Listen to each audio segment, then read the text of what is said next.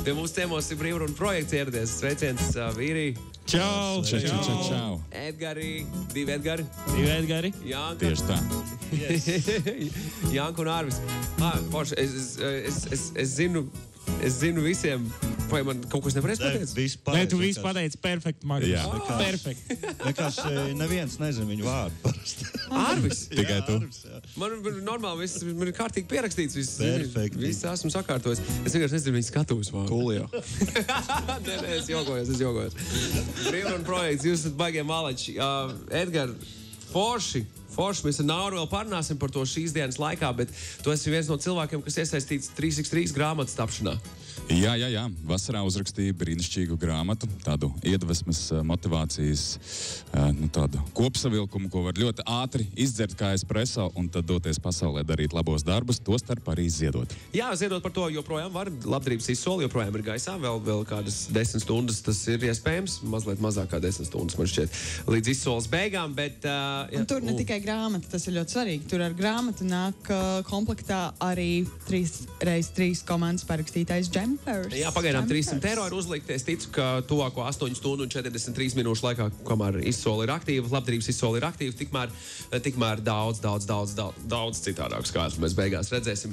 Brīvruna projektam uh, man ir uh, uzreiz viens jautājums, bet es to esmu prasījis visiem reperiem, kas ir bijuši šeit, stikla studijā. Vai nu es esmu to prasījis aizkadrā vai, klāti, uh, vai, vai, vai, vai ēteru laikā par, uh, par sociālo funkciju, ko šis žanrs, kur jūs pārstāvat, uh, vai ne, hip hops, raps. Uh, pilda, vai ne? Un, un par šādām tēmām arī tiek stāstīts. Kā jūs paši jūtaties par šo, un vai mēs daļradē varēsim nākotnē kaut ko dzirdēt vairāk, iespējams, iedvesmojoties no, no, no, no, no maratona un runājot par tādu veidu problēmām. Es, uh, kā kreisā krasta pārstāvs un brīvuma projekta pārstāvs, kurš piedalījās himnas izveidē, var pateikt, ka noteikti mums visiem izpildītājiem, kas bija iesaistīti tajā dziesmā, tas bija tāds tā kā. Mainošs faktors dzīvē ar visām tām vizītēm, piemēram, Rīgas ebela mūžas pamatskolā. Tur tie bērni vienkārši nu, tik forši, tik jauki. Vienalga par uh, to, ka viņiem ir dzirdes problēmas. Mēs daži reperi esam apņēmušies, ka nevis vienkārši rapojot, žestikulēt ar rokām, bet apgūt zīmju valodu, jo tas bija tik iedvesmojoši. Citi, citi es netiku uz cēsīm pie basketbolistiem un tā, bet, nu, Es ticu, ka šī iedvesma nepāries tikai pēc šī maratona. Es ticu, ka arī tēmas tiks kaut kādas citas aizskartas dziesmā, jo mums vienmēr vajag gan to izklaidējošo, tos bangers, bet vajag arī par sociālām tēmām. Un, uh, Ņemot vērā, ka piemēram, Latvijas ir tāda tauta, mēs drīzāk uztaisīsim zibakciju, jo decembra vidū pa galvaspilsētu ar riteni nevar pabraukt nekā par to, kas cauru gadu notiek. Tad es domāju, ka šis varbūt pat ja viens no simts aizdomāsies un sāks kaut ko darīt, varbūt mēs ar to visu uh, vidējā latviešu mentalitāti spēsim mainīt. Nevienā dienā, bet gada, divu, trīs varbūt. Tā es jūtos. Es domāju, ka rapam noteikti ir potenciāls uh, šādas tēmas uh, skart un arī palīdzēt cilvēkiem, kuri jau ir uh, dažādi apstākļi, skart arī pašiem radīt savu mūziku un savu, savu repu. Un, uh, uh, man šķiet, svarīga lieta ir uh, tas, ko arī reperi dara ikdienā, jo tā ir lieta, kam ir jānāk liekas, no sirds. Mūziķi vispār, ko dara ikdienā. Un es novēlu gan sev, jo šī pārdoma man arī ir radusies jau ilgākā laikā, gan arī citiem mūziķiem. Uh, laiku pa laikam nodarboties ar labdarību, ne tikai dot pieci ietvaros un mēģināt varbūt to padarīt arī par savu kādu ikmēneša nodarbi, nevis nodarbi vienu reizi gadā. Protams, mums visiem ir savas problēmas un ir uh, jāsaņemās un tam līdzīgi, bet mums ir jāmēģina arī kaut kā to uzturēt uh, kā daļu no savas vienkāršas dzīves. Nu, tā normāli, tāpat kā tu hobijā aizēji uzspēlēt basketbolu vai pasportot vai tur uz kultūras pasākumu, mums vajadzētu būt diezgan normālai attieksmei par to, ok, mēs ar čaumiem aiziesim un padarīsim šīs labdarības lietas. Nu, tā. Jā, es, es, es saprotu to ikmēneša ziedojumu padarīšanu. es atvainojos. Kivī sākli Turamies, turamies, Magnus, Magnus! Magnus. Pierodēt. piegāde. Būs labi. Ah, jā, Jā, drīkst. ūdens piegāde. Protams, Magnus. Vienmēr. Es ļaušu viņam turpināt jautājumus, neatņemšu viņam ēteru šobrīd. Paldies. Ūdens palīdzēja. Uh, jā, Dīdžais es dzīves atkal. šausmas. Oh. Oh, tas nav patīkami sasūtīties mutī. es aizmirsu, ko es gribēju prasīt. Tas, Kā tas tu teici, ka ir, uh, tu saproti to ikmēneša lietu. Ah, ikmēneša lieta par, par ziedošanu. Zini, es to tulkoju, zini, kā līdzīgi kā, kad tu abonē Netflix, piemēram, subscription, vai ne?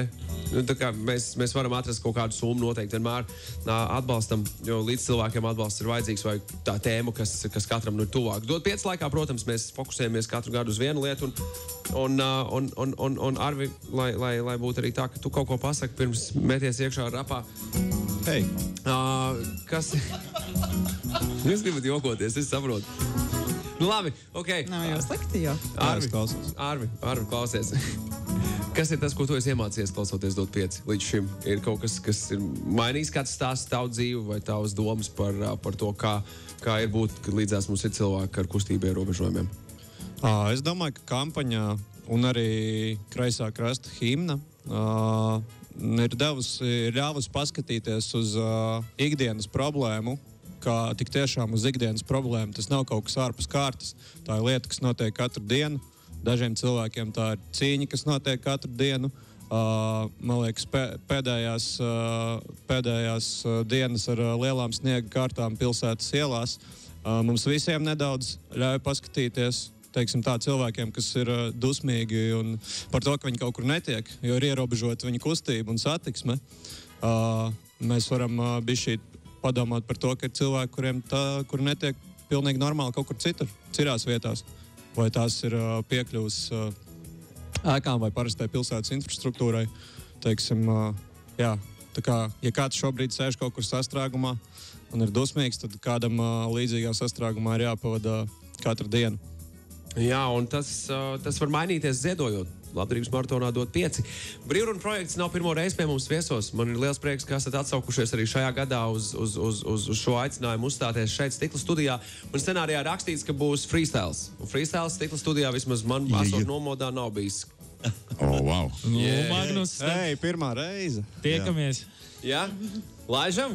Bet tev jāiedod Jā, bet tēma. mums tikai tēmu vajag padāt, lai mēs zinām, ka ir tas freestyle. Nu, tā kā mēs jau citādāk varējām sarakstīt viņu. Ah, jā, Elīna, iedos Mums tēmu. vajag vienu vārdiņu, 2, 3, 4, 5, 6, Cik, 7, 8. cik jums ir uh, vārdi? Varat vienu, vienu salikt teikumu vai frāzi? Jā, viena tēma vai viens vārds.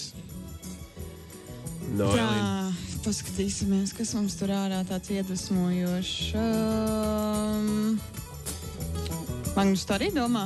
Vai tu, Es aizskatījos uz balodi. tu vienkārši Es skaties? aizskatījos uz balodi. Es vienkārši redzēju balodi. Nu, mēs varētu nedaudz par. Nu, it kā kaut ko par. Es zinu, ko uh, likt iekšā. šī gada. Iekļaujoša sabiedrība. Tas būtu tas, būtu, ko likt iekšā. Es iekļautu kustības un maņas. Jā, man vārdiņi ir kustības un, Okay. kustības un maņas. Mums ir iekļaujoša sabiedrība un kustības un maņas. Jūs varat Ok. okay. šeit Es domāju, jā, ka jā, jā, ko tad mēs esam brīvuma projekts. Brīžum, kas? Ej, ej. Oh, oh, oh, oh. Oh, oh, oh, oh. Oh, oh, oh, oh. Oh, Yeah. oh, oh, oh. Oh, oh, oh, oh. Oh, oh, oh, oh. Jā, vide visiem labi cilvēki blakus. Mazas lietas reizēm izdarot, citiem atver plati acis. Jā, es varu prasīt no tevis tikai to, ko prasu no sevis. Jā, palīdzēt grūtā brīdī, kad zem kājām pavērusies Es zeme. gribētu, lai būtu iekļaujoša sabiedrība, lai mēs būtu tuvāk nekā tikai Eiropas Savienība. Un jā, mums tās vai, maņas vajadzības, vai tu gribi, lai neaizrītos tā kā Magnus ar to kivi. Es redzu bildi, jā, es dzirdu arī skaņas, bet zinu, ir daudz cilvēku, kam nav tādas maņas. Man ir viss labi ar dzirdi, bet es neizvēlos nedzirdēt. Man viss labi kājām, es izvēlos dirnēt. Jā, ja izdevies ar maņām pazust, tad nepazaudēsim vismaz vienu maņu. To sajust, tāpēc, kad varam būt priecīgāki par jaungadu salūtu, bet tikai esot kopā kā sabiedrība varam pagūt. Tas nekas, ka kādam pazudusi kāda maņa. Jā, bet galvenais, lai sabiedrības sirdsapziņai nav tā besamaņa. Mēs varam sadoties rokā, palīdzēt daudziem. Jā, mēs varam palīdzēt daudziem. Tas nekas, ja sliktāk redz vai dzirdi. Galvenais, ka tu visu jūti ar sirdi.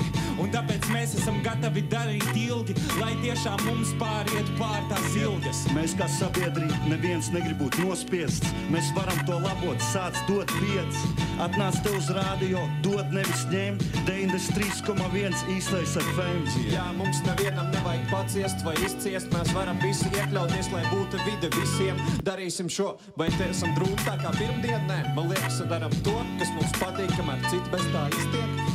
Tāpēc ļauts visi sadodamies rokās. Visas maņas, kas ir dažādas, iet kopā. Un sajutīsimies kopā kā bites stropā. Un tāpēc mēs uz nākotni projām dodās. Tāpēc ļaudis sadosimies visi rokās. Es zinu, mēs to sasniegsim, ja būsim kopā. Un visi mēs varētu kopā vēl tur nonākt. Izdarīsim tā, ka pārējiem ir zosās. Zosāt! Brīvuma projekts, piecēlē, vide visiem.